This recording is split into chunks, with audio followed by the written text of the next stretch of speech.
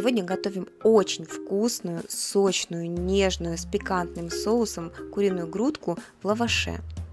Блюдо выглядит оригинально, а потрясающий вкус вы оцените, когда его приготовите.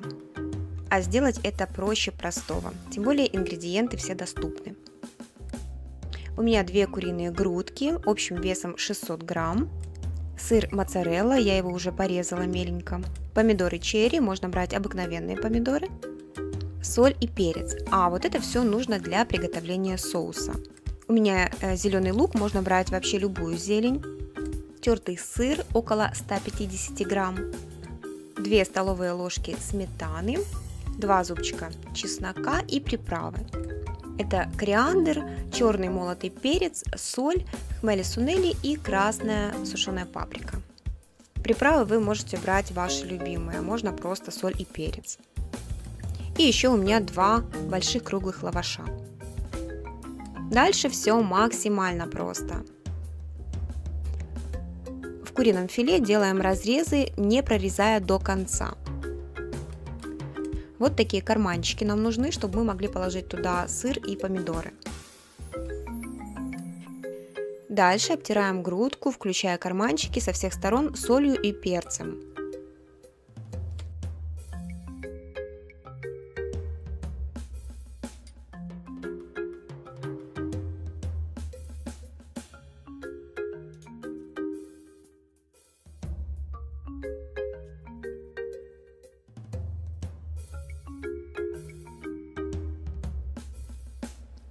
Дальше вставляем в карманчики сыр и помидорки.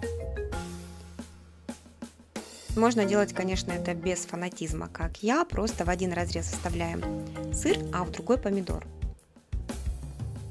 Мне надо, чтобы было всего много.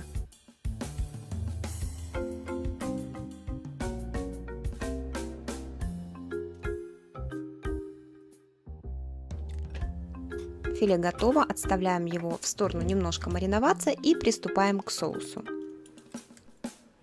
Для него, как вы понимаете, нужно просто все хорошо смешать.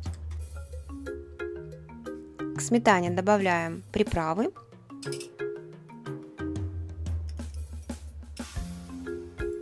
Тертый сыр. Выдавливаем чеснок Нарезаем мелко лук или другую зелень и все хорошо перемешиваем. Соус готов. Теперь, пожалуй, самая сложная часть приготовления этого блюда. Это сформировать лодочки из лаваша. Лаваш берите побольше.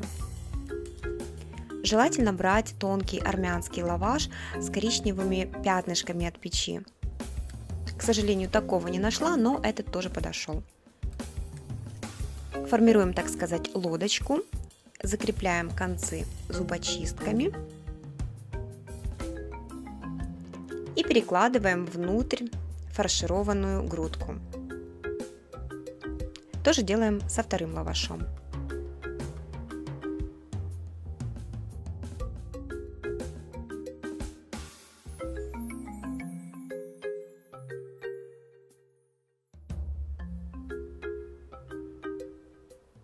Наверх лодочек выкладываем сырно-сметанный соус. И лаваш я смажу еще яйцом. Лаваш после запекания тоже становится хрустящим и очень вкусным. И отправляем наши красивые лодочки в разогретую до 180 градусов духовку на 30-35 минут. Все зависит от вашей духовки. Смотрите, чтобы лаваш не пригорел. Если начнет пригорать, прикройте фольгой. Невероятно вкусные, ароматные, сочные лодочки готовы. Подавать их, конечно, лучше всего горячими. Их приготовление не занимает много времени, но вкус просто потрясающий. Такое оригинальное блюдо можно подать как к праздничному столу, так и к семейному ужину. Результат, поверьте, вас очень порадует. Обязательно приготовьте, делитесь своими впечатлениями в комментариях. Спасибо за ваши лайки, подписывайтесь на канал, берегите себя и своих близких и давайте готовить вместе.